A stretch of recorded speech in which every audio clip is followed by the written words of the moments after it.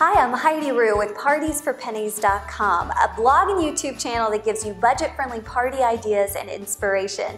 And I'm here today with Sizzix. We are creating an entire Christmas dinner party using your Sizzix machine. Yes, it is totally possible. I'm going to show you how. We've got four projects in these video series. We've already shown you um, the place setting tag and favor tag, um, a really fun DIY ornament favor and gift. And then today we're gonna I'm gonna show you some decoration ideas because you know if you have people over, you want to like decorate. So these are there's a couple different things that you can do with this. This is I'm calling it the foil peace hope and joy project. So you can do a framed art kind of like this. Um, you can place them on the table or around your house. Then you can also do a really fun, so I have a, I have like a little kind of um, chair in the in my dining room and so I love to kind of do a fun pillow there especially when I'm having guests over. So I created this peace or hope joy and peace pillow using the Sizzix machine and some really fun gold foil. So so pretty. So here's what you will need to do your own. You'll need your Sizzix machine two cutting pads Need Stephanie Ackerman's peace, hope, and joy dies. Foil foam adhesive, and you can get this in a craft store. And this is what helps that gold foil stick. You'll of course need a gold foil sheet. You'll need some scrapbook paper if you want to do the framed art. And then you can use a frame too. Now I got this frame just at Ikea. You can get them really, really inexpensive and they're perfect for this type of project.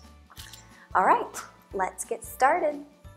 So I'm going to take my two cutting pads and my, I'm just going to show you the joy die today. And then I'm going to take the joy die and then I'm going to take my foam adhesive and then lay it on top of there. Run it through your Sizzix machine and then you will have your joy wording cut out. Now this foam is really cool because you, what you do is you peel off one side and that helps it stick to the foil and then you can um, use the other side to adhere it to anything. So here's my little joy.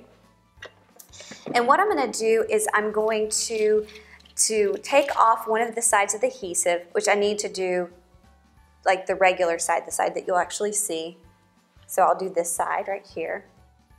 So then I, you can see the sticky part here. Now I'm going to lay my gold foil down and I'm just going to press the sticky part into the gold foil. Now really press down hard because you want to make sure all that gold comes off on the sticky part. Adhesive, I guess, is the real technical term.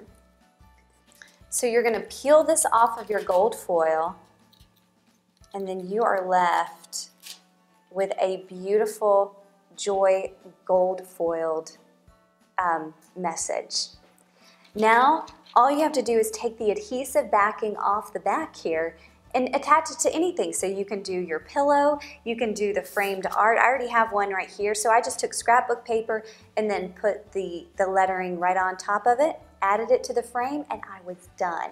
It is that simple. You can add it to your tablescape, you can add it around your dining room, um, or you can even give it as a great present.